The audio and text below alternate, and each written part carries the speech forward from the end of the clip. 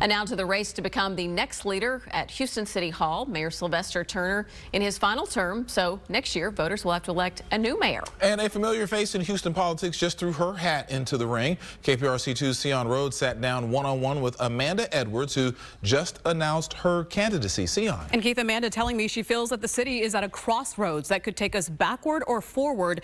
She believes she is the candidate who can carry Houston into a renaissance.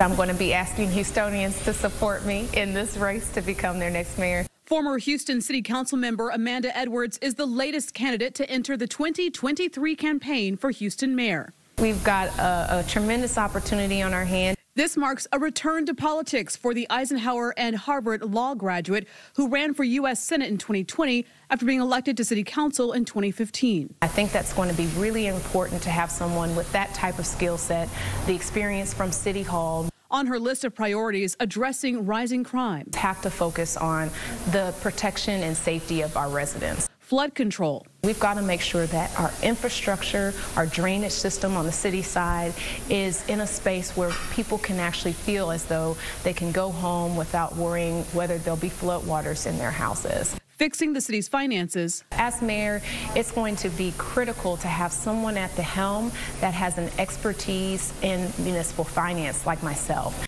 And creating economic opportunity. I believe that this is an opportunity for us to fix some of our lingering challenges in our community, but also create a city that's bold and innovative in its approach. Edwards joining a field that so far includes longtime state senator John Whitmire and former Harris County clerk Chris Hollins. The election is next November. Mayor Turner is not running for re-election due to term limits. Lauren?